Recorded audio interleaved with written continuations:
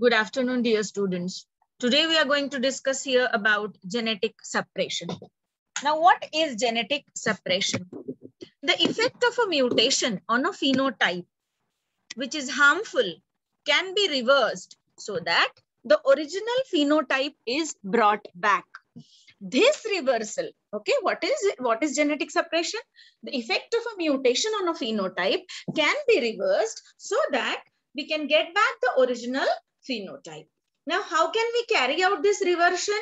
By the process called as true reversion or true reversion, which is also called as back mutation.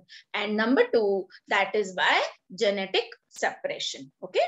So the uh, deleterious effect of first mutation on a phenotype can be reversed by two different processes. One is true reversion which is less common. And number two is genetic suppression, also called as suppressor mutation. Now, what happens in a forward mutation or when first mutation takes place? When first mutation take, takes place, it changes the wild type of a phenotype into a mutated one. Okay, when the wild type is changed to mutated, it leads to mutation. Okay, now how can we get back the original phenotype? Number one, by back mutation, which is also called as true reversion. What happens in a back mutation? There is reversal of original genetic change. What happens in back mutation? There is reversal of original genetic change, right? Say, for example, the first mutation has changed the uh, wild type into mutated type. For example, GCU codon, okay, codes for alanine which undergoes first mutation gets converted into GAU, which codes for, say, uh, aspartic acid. Okay. So GCU changes to GAU. GCU codes for alanine and it has been changed to GAU, which codes for aspartic acid. What will happen? This will cause deleterious effect and it will lead to mutation. Right. Now, there occurs True reversion. True reversion means what? The changed nucleotide A gets converted back into C. That means GAU codon gets again converted into GCU. Okay. So this is true reversion or what we call as back mutation. We get back the original codon. We get back the original phenotype and hence reversion, uh, you can say this true reversion fully restores the function of the enzyme. This is called as back mutation or true reversion, which may be very, very less common, right? So how does the effect of uh, first mutation is suppressed? By another process which we call as genetic suppression. The deleterious effect or harmful effect of first mutation is suppressed by second mutation. The second mutation may be taking place uh, in the same gene, okay? Or it may take place at a different site and it brings about phenotypic correction of the mutation. It brings about phenotypic correction of the mutation, right? So in genetic suppression, a second mutation at a different site maybe in the same gene or different gene, neutralizes the effect or suppresses the effect of first mutation and uh, bring about phenotypic correction of the mutation, right? Now, there are two types of genetic suppression. Number one, intragenic suppression and number two, intergenic or extragenic suppression. Now, uh, if the suppressor mutation occur in the same gene, where the first mutation has taken place, we call it intragenic suppression. But if the two mutation, the first and the second mutation take place on different gene, we call it intergenic or extragenic suppression. Now let us discuss about intragenic suppression.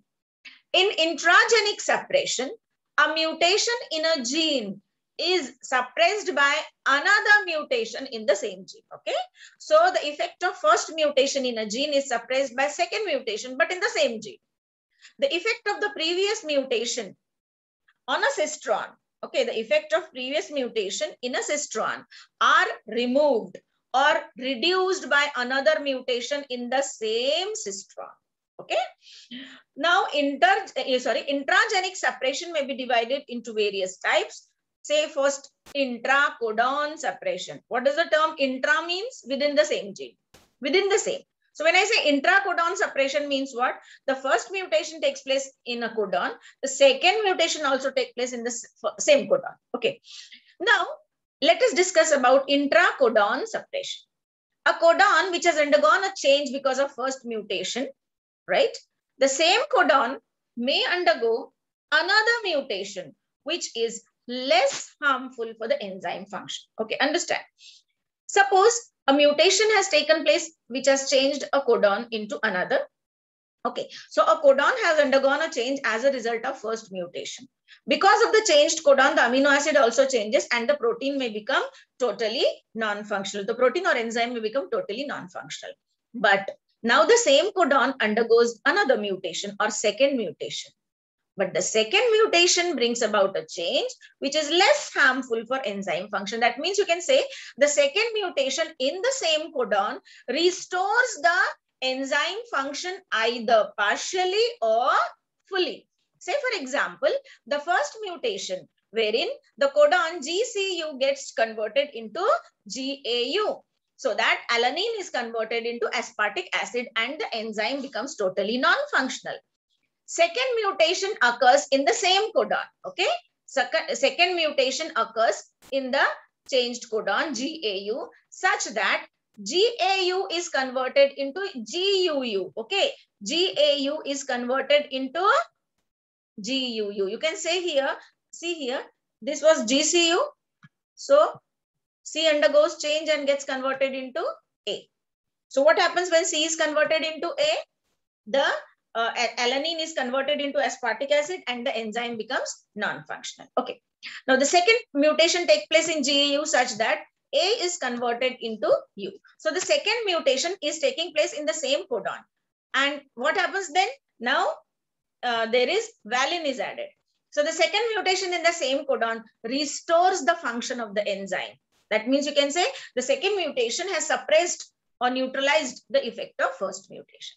But since the second mutation is taking place in the same codon, we call it intracodon suppression. So since the deleterious effect of first mutation is suppressed by second mutation, but in the same codon, it is called as intracodon suppression. Second type of intragenic suppression is reading frame mutation, right? A second mutation at a different site in a gene neutralizes the effect of first mutation. Okay. Second mutation at a different site in a gene neutralizes the effect of first mutation. Okay. So this results in an altered enzyme, right? Second mutation results in an altered enzyme, which is different from the wild type only by few amino acid. Okay. So what will happen? First mutation has taken place because of frame shift mutation and the uh, uh, reading frame, um, I, I, mean, the uh, re, uh, message goes out of frame from the point of addition or deletion. What happens in frame shift mutation? Because of addition or deletion of a base, the message goes out of frame from the point of deletion or addition. The second mutation is going to take place in the same gene, but at a different site. Okay. What will happen if second mutation take place? It will result in an altered enzyme. Okay. Slightly different from the wild type, but only by a few amino acids. So uh, if there is deletion kind of mutation, then bases are added few step away from the point of deletion. Addition of a base few step away from the point of deletion suppresses the effect of deletion. Or deletion of a base few step away from the point of addition right? Suppose there was uh, insertion type of frame shift mutation what happens in insertion mutation or addition mutation? One base is added. Because one base is added, there is a shift in reading frame in the backward direction and the message goes out of frame from the point of addition. All the amino acid from the point of addition will change. So what will happen? The second mutation will take place few steps or few bases away from the point of first addition such that few bases away a base is deleted. A nucleotide base is deleted. So Second mutation, which deletes a base, suppresses the effect of first mutation where a base was added. right? So between the point of addition of a base and deletion, the amino acid sequence will change. Rest of the protein will be same. This change is brought about by shift in the reading frame. Okay, how uh, you you again uh, how the function of the enzyme is regained by there is a shift in the reading frame opposite in direction to that which is caused by first mutation. Say for example, here we are discussing about a type of frame shift mutation where a base has been added.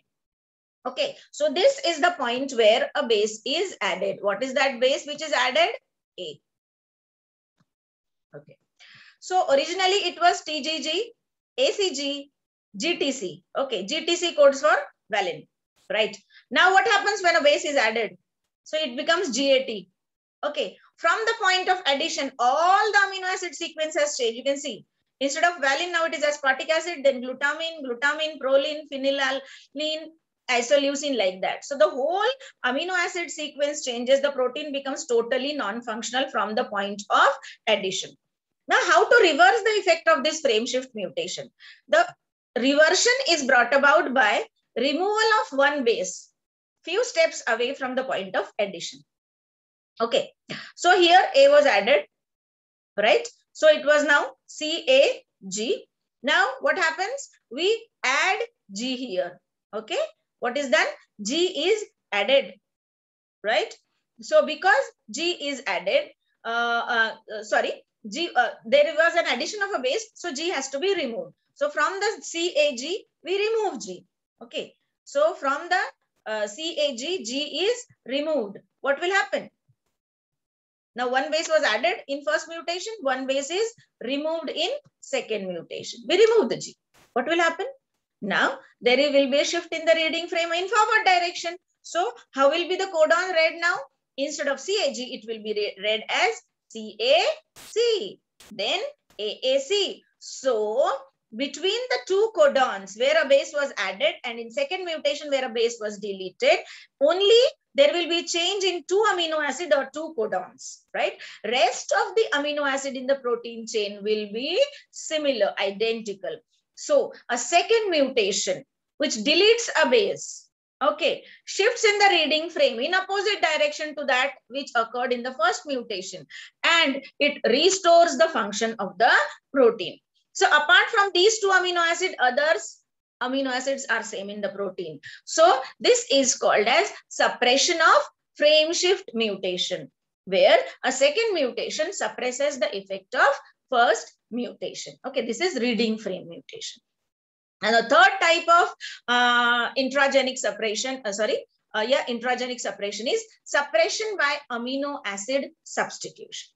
Okay. Now, suppression of first mutation also take place by addition or by substitution of one amino acid.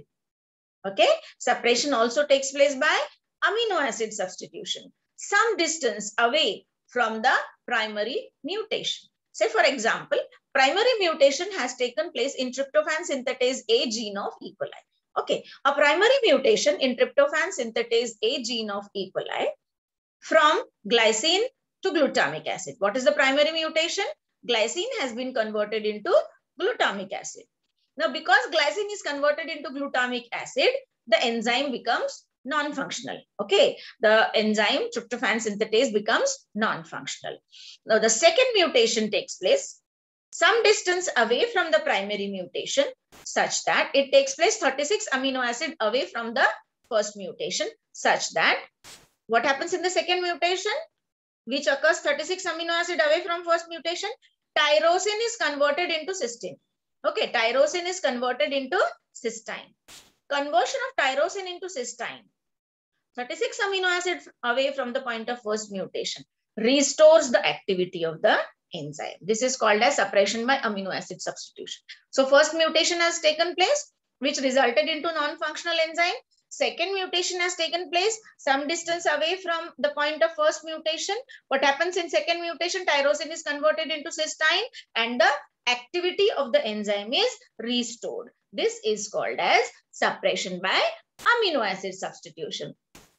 So these are the three examples of uh, intragenic suppression, right? That means second mutation take place in the same gene, maybe on the same codon, which is intracodon. Okay. Now, the second type of genetic suppression is called as intergenic suppression or extragenic suppression. Okay, so that we will discuss uh, in the next presentation.